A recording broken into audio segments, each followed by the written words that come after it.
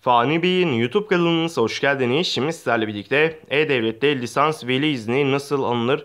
Bu veli izni nereden onaylanır? Bu gibi sorulara yanıt vermeye çalışacağız. Siz değerli takipçilerimizle birlikte.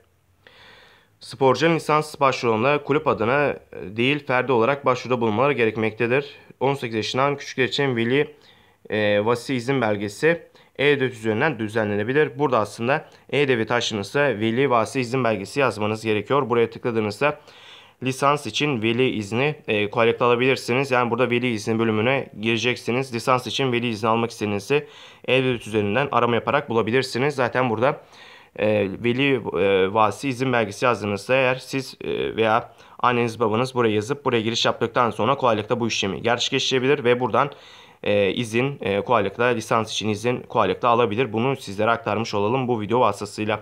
Dediğimiz gibi veli vasi izin belgesi yazması gerekiyor E-Devlet üzerinden. Videomuz bu kadardı. Umarım videomuzu beğenmişsinizdir. Videoyu beğendiyseniz aşağıdan beğen butonuna tıklamayı unutmayın.